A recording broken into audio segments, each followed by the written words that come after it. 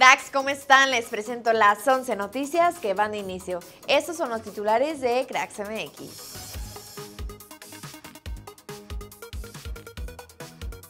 ¿Cómo están cracks? Los saludo desde Denver. Aquí a mi espalda está el Empower Field, donde México se va a enfrentar a la selección de Uruguay en su primer partido amistoso previo a la Copa América, el primero de la mayor. Y bueno, qué partido, ¿no? Frente a la selección charrúa. Este partido es a las 7 de la tarde, pero desde antes en todas nuestras redes sociales estará ahí la cobertura desde obviamente el lugar de los hechos. Pero bueno, ¿qué dijeron los protagonistas de este partido? Vamos a escucharlos.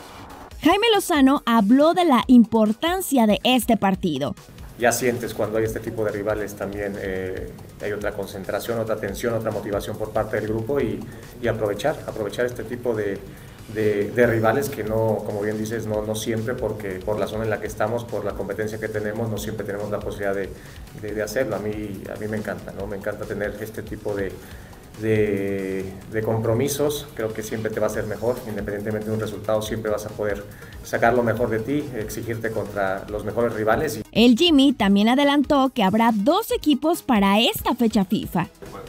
Sí, Gibran, eh, vamos a, utilizar gente de la que tenemos un poquito más de tiempo con ellos trabajando, esa es, esa es la idea. Evidentemente los que jueguen el día de mañana difícilmente tendrán o jugarán de inicio contra Brasil. Tratamos de hacer dos equipos competitivos. Eh, saben que tenemos una lista un poquito más grande de lo que vamos a poder llevar a Copa América y entonces la intención es, es ver en este tipo de, de, instancias a, todos los jugadores. ¿Podrá Nico Ibáñez jugar para el Tri? Sí, sí el mexicano este, tiene las puertas abiertas siempre que se gane un lugar. Bielsa defendió el nivel del fútbol mexicano. México siempre es muy exigente, ¿no? Jugar en, un equipo de punta en Rusia parecería que no es importante, o en Holanda parecería que no es importante, o en Portugal parecería que no es importante, o en la liga inglesa parecería que no es importante. Y bueno, hay que ver cuántos equipos tienen jugadores en esas ligas, ¿no? Yo creo, me, tengo la sensación que está en buen camino.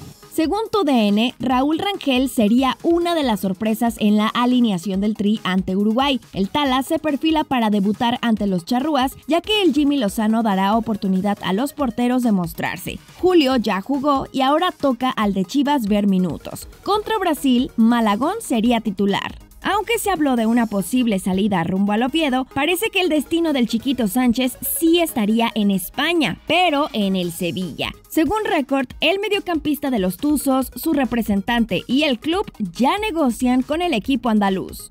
Según Medio Tiempo, Oliver Torres ya es nuevo jugador de los Rayados. El delantero español y exjugador del Sevilla habría llegado a un acuerdo con la pandilla por los próximos tres años y en los próximos días se anunciará su contratación, siendo hasta ahora el fichaje bomba de la Liga MX para la Apertura 2024. La sombra de Angélica Fuentes, ex esposa de Jorge Vergara, sigue sobre las chivas, pues según ESPN, Fuentes mantiene un pleito legal con Amauri Vergara y esta situación es la que evita que la directiva invierta dinero para reforzar al equipo y como consecuencia esto habría ocasionado la salida de Fernando Hierro de la dirección deportiva. Sin ningún comentario sobre los rumores de su salida de Tigres, Siboldi se despidió del club en redes. Muchas gracias por la experiencia vivida, agradecido por el apoyo de mi familia, cuerpo técnico, jugadores, afición, Club Cemex, staff, amigos. Club Tigres, les deseo lo mejor y que obtengan el éxito que merecen. Un abrazo.